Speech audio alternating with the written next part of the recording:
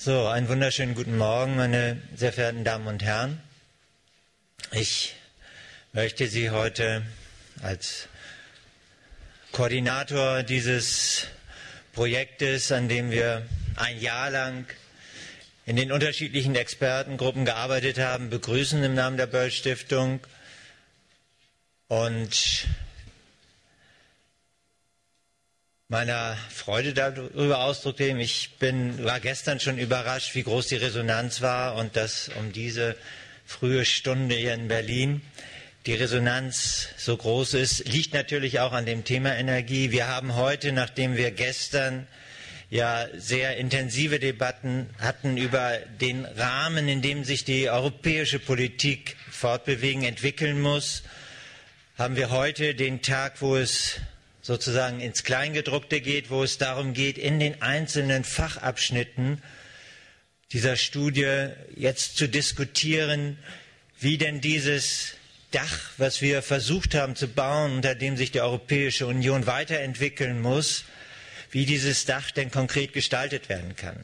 Und in diesem Arbeitsprozess, der gekennzeichnet war ja nicht und der nicht gewollt war als äh, als Programmentwurf einer politischen Partei, sondern der, ein, der Entwurf von Gruppen von Politikern, Wissenschaftlern, Mitgliedern der Zivilgesellschaft, der Gewerkschaften, der, aus der Wirtschaft war. Also sehr in diesem Sinne nicht sehr homogene Gruppen, sondern Gruppen, die mit ganz unterschiedlichen Erfahrungsräumen sich auf den Weg gemacht haben, ein Jahr lang über Projekte, die die Europäische Union benötigt, die notwendig sind, um dieser Europäischen Union nicht nur einen neuen Drive zu geben, sondern auch eine neue Gestalt zu geben und dafür zu sorgen, dass die Akzeptanz bei den Bürgern und das Vertrauen, dass die Europäische Union die Herausforderungen der Zukunft meistern kann, dass das gestärkt wird. Das ist in den einzelnen Gruppen sehr intensiv diskutiert worden. Wir freuen uns auf diese Fachdebatten, die heute ja in vielen Foren stattfinden, die im Grunde dann nochmal abgeschlossen werden, heute am späteren Nachmittag durch äh, die Debatte über die Wirtschaftspolitik, die natürlich auch den gestrigen Tag schon ein bisschen gekennzeichnet hat. Und es ist natürlich, wenn man sich nicht nur die Hebeldebatten heute in den Zeitungen anguckt, und die Frage, vor der der Bundestag innerhalb kürzester Zeit steht, irgendwie Freitag eine Entscheidung dazu zu machen, auch eine Frage des Demokratiethemas, was wir gestern berührt haben, wie denn sozusagen die gewählten Repräsentanten über die Zukunft Europas unter solchen Bedingungen überhaupt entscheiden können. All dieses wird sicherlich im Laufe des Tages auch nochmal thematisiert werden. Ich freue mich auf diese Debatte, nachdem ich gestern von einer Journalistin gehört habe, sympathisches Papier, aber viel Träumereien. Und mir dann jemand anders erzählt hat, also ist ja nett, dass ihr das versucht habt, aber ihr hättet doch mal ein ganz ambitioniertes Papier schreiben müssen.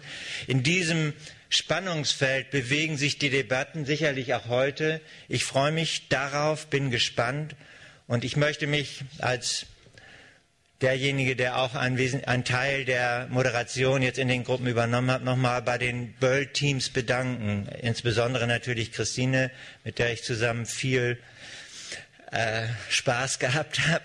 Nicht nur, aber viel Arbeit auch in diesem Jahr und natürlich auch bei Bastian, bei den anderen äh, Fachreferenten der Böll Stiftung, ohne die dieses Projekt sicherlich nicht so gut auf den Weg gebracht worden war. Aber Ganz herzlichen Dank natürlich an die Experten, die in diesen Gruppen wirklich sehr, sehr viel Arbeit geleistet haben, weil diese Gruppen eben nicht homogen waren. Sie waren nicht aus der Partei. Die Politik war immer in der Minderheit. Es war immer viel Kompetenz aus Zivilgesellschaft, aus Wissenschaft dabei. Und dieses unter einen Hut zu bringen, war ein ausgesprochen spannendes Projekt. Das werden wir heute, glaube ich, in den Diskussionen sehen. Ich darf jetzt an die Energiegruppe übergeben und äh, an die erste Debatte, die hier im Plenum erfolgt. Danach werden wir dann die Debatten haben zur Außenpolitik, Nachbarschaftspolitik, zur Agrarpolitik in den einzelnen Facharbeitskreisen, die zum Teil dann parallel laufen. Diese Informationen werden Sie dann auch sehen, wo die Räume sind dafür. Das werden wir dann noch mitteilen. Gut, soweit erstmal zur Begrüßung. Jetzt sind wir noch mehr geworden. Vielen Dank dafür und ich übergebe jetzt an die Energiegruppe. Vielen Dank.